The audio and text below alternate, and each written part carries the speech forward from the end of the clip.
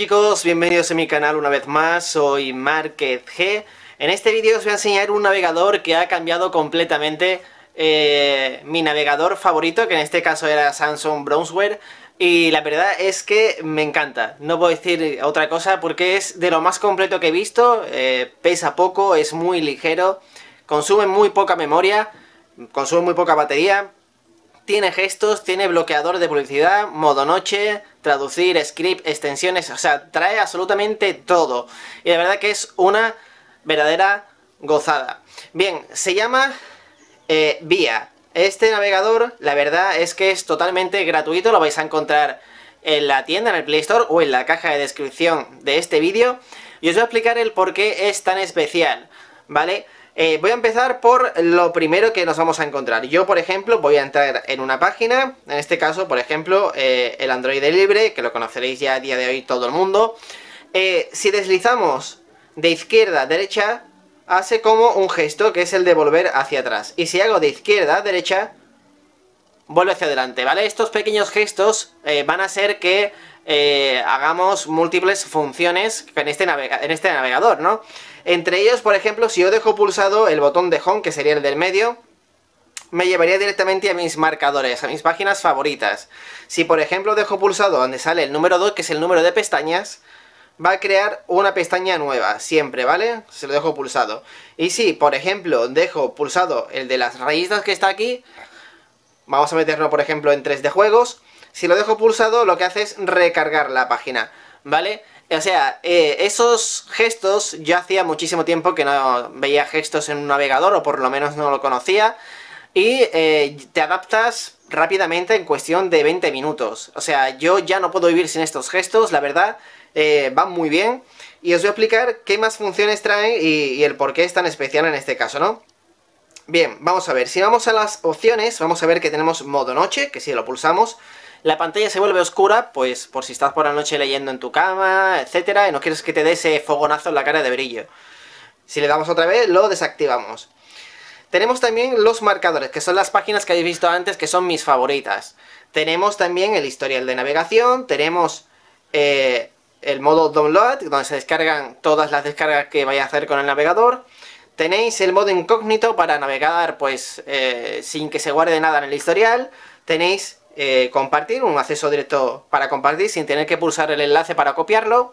Tenemos añadir a marcador, o sea, si te gusta una página, por ejemplo, pues imagínate que vas a visitar eh, la página de 20 minutos, pues le das a añadir y directamente se reguarda en todos los marcadores, que en este caso, pues el mío es 3 de juego, el Android libre, marca, al final de la palmera o eh, foro coches. Bien, más cositas. Tenemos también para cambiar el sitio de escritorio. Ya sabéis que algunas páginas, eh, por ejemplo HTC Manía, trae un modo adaptado eh, para la versión móvil. Y en este caso, pues si tú por ejemplo echas de menos una función, que por ejemplo es cambiar la foto de perfil, pues le damos al sitio de escritorio y directamente se abre como si estuvieras viéndolo desde un ordenador. ¿Vale? Muy útil para eso, ¿no? Para poder eh, acceder a algunos botones que están ocultos en la versión móvil. Después tenemos una herramienta que se llama Tools, o sea, un icono que se llama Tools, en las cuales podemos buscar dentro de la página, guardar la página completa en formato PDF. Tenemos para guardar páginas en total, o sea, eh, esta la guardaríamos lo que es en, en la memoria interna de nuestro teléfono y aquí se guardarían para verla más tarde, ¿vale? Si le damos aquí, traduciríamos una página, que ahora lo vamos a ver luego, ver el código fuente de una página, pantalla completa, ver las imágenes de una página web, eh, resource, que esto no suelo utilizarlo, pero bueno, que está ahí también, eh, user agent, tampoco eh, recomiendo toquetearlo, viene por defecto en por defecto, y no recomiendo toquetearlo, o registros de cambios. Luego, pues tenemos más abajo un botoncito para salir del navegador, y si decidimos ir a las últimas opciones, serían los ajustes. Ahora, ¿Qué traen estos ajustes? Pues la verdad que para mí son los más completos. Si nos vamos al apartado general, pues tenemos eh, un párrafo que pone cuenta, o sea, una línea que pone cuenta, y va a venir muy bien si, por ejemplo, quieres sincronizar todos los marcadores que tengas. Eh, imaginaros que tú te registras en este teléfono con esa cuenta, ¿no? Por ejemplo, pues cuenta número 1 arroba gmail.com. Y ahora, por ejemplo, tienes cuatro tablets en casa. Y si te registras con esta misma cuenta, pues todos los marcadores que vayas o páginas que vayas guardando se van a quedar sincronizadas en todos los dispositivos. Muy útil, la verdad. User Agent, como digo, no, yo no lo toco para limpiar los datos, pues memoria caché, datos de formulario, historial, lo que queráis marcar. Eh, y de hecho ya una vez marquemos, se limpian. Bloquear los anuncios, hay muchas páginas que tienen muchísimo contenido eh, de publicidad, pues si le damos ahí lo bloquea, e incluso podemos bloquearlo manualmente, que luego lo veremos.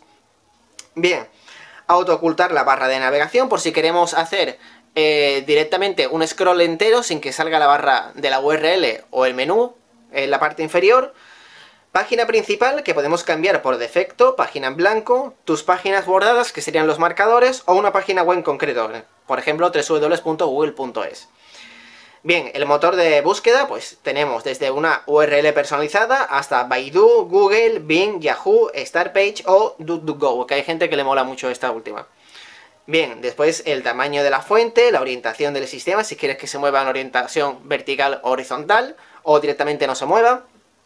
La ruta de descarga, el contenido de la barra de direcciones, si queréis que salga la URL aquí arriba, o pues simplemente el título de la página donde estás. O sea, tiene una cantidad enorme. También trae el modo color, que luego lo veremos, cómo se colorea tanto la barra superior como la inferior.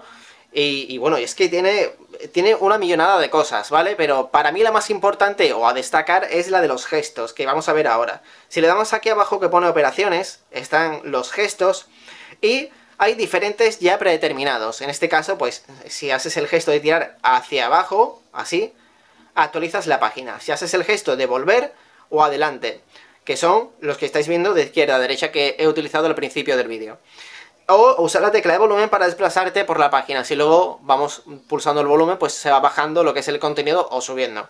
Y luego tenemos los cinco botones de navegación que estáis viendo aquí abajo y cada uno hace su función. Atrás, hacia adelante, botón Home, eh, las pestañas o el botón de menú. Pero si pulsamos podemos añadirle a cada una que haga una función. En este caso, pues yo si le doy un toque me lleva a la página principal, en este caso www.google.es, o si lo dejo pulsado me lleva directamente a mis marcadores para cambiar directamente de uno a otro. O sea, trae infinidad de cosas. Si esto fuera poco, puedes personalizar también el navegador con el logo que quieras, por ejemplo, en este caso viene el de vía, pero si lo cambiamos podemos poner un texto, por ejemplo, voy a poner buscador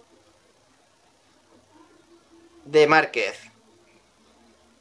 Vale, y si le damos a aceptar, pues directamente sale la palabra. Una pequeña tontería, pero que también es modificable. Bien, también podemos cambiar, por ejemplo, pues código HTML o directamente no poner ninguno. Si le damos a fondo, podemos poner el que ya está, que es de color blanco, o cambiarlo por una imagen predeterminada que a nosotros nos guste. En este caso, pues, eh, voy a cambiarlo yo, por ejemplo. Galería. Voy a poner alguna foto que tenga por aquí. Por ejemplo, yo creo que lo tenía por aquí en álbumes, ¿no? Álbumes.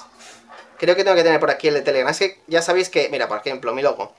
¿Vale? Pongo mi logo y directamente, como tengo el fondo totalmente transparente, no va a salir.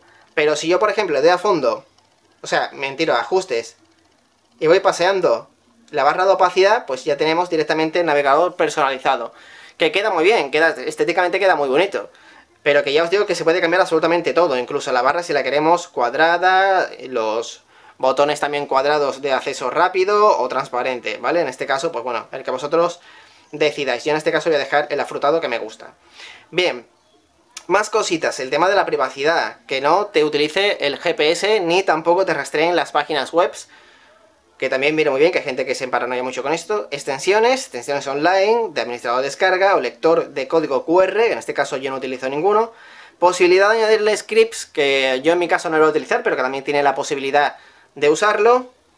Y el acerca de, donde vamos a encontrar un pequeño enlace aquí abajo para unirnos al Telegram del diseñador para que veamos las nuevas novedades que va a incluir o que eh, podemos proponerle para que añada. Bien, lo importante del navegador. ¿Cómo va el navegador? El navegador, a mi modo de ver, va como un cohete. Voy a meter, por ejemplo, Marca, que ya sabéis que es una página que, carga bastante contenido. Voy a entrar aquí. Y vais a ver, bueno, ahora no vais a ver cómo eh, cambia directamente el color, que es el modo coloreado que decía, tanto la barra superior en rojo como la barra superior en roja. ¿Vale? Carga muy rápido las noticias. Eh, está bien adaptada, no hace falta que hagáis el pinch to zoom, ¿vale? En este caso. Y carga muy bien y muy rápido todas las noticias. Y a mí es que es una cosa que me encanta. Si por ejemplo quisieras eh, no sé, un suponer, imaginaros que esta foto, pues creéis que es publicidad. Si marcamos, dejamos pulsado y le damos donde pone marcar como anuncio, le damos a aceptar y directamente te la quita, por si no te gusta. O sea, eh, yo creo que es el navegador más completo y que más se puede asimilar, por ejemplo, a uno de escritorio. Eh, es muy muy muy completo, los gestos vienen súper bien, si queremos hacia adelante o hacia atrás, abrir varias pestañas, o sea, a mí realmente me encanta, ¿vale? Después, por ejemplo, sí que es verdad que si queremos, por ejemplo, buscar otra página, por ejemplo, Android... Bueno, Android Noticias. Voy a poner, por ejemplo, Android Noticias. Vamos a ir a la primera que salga, por ejemplo, Android Pits. Si le damos, le damos a los a las rayitas, le damos a añadir marcador, eh, lo tenemos aquí, directamente aquí. Pero si queremos, por ejemplo, ponerlo eh, principal donde tenemos el buscador, pues directamente pulsamos aquí y le damos donde pone añadir tu speed dial, que es para que se nos quede aquí abajo. Y podemos incluir todos los globitos de notificaciones aquí para poder darle directamente al que queramos. O sea, es muy, muy, muy completo. Voy a quitar la foto que tengo puesta aquí porque a lo mejor no se ve del todo bien. Y es muy completo, a mí me encanta realmente. O sea, eh, el tema de los gestos es una cosa que me ha venido súper bien para entrar directamente pues en una página, salgo en otra. Eh, el tema de colorear le da un aspecto bastante bonito cuando entras. Eh, está súper bien. Por ejemplo, voy a hacer una prueba, voy a entrar en XDA para que veáis que se puede hacer también lo de traducir la página. Ya sabéis que XDA pues es un foro, bueno, dedicado al tema de los móviles y demás. Y bueno, aquí vais a ver que la página principal está totalmente en inglés.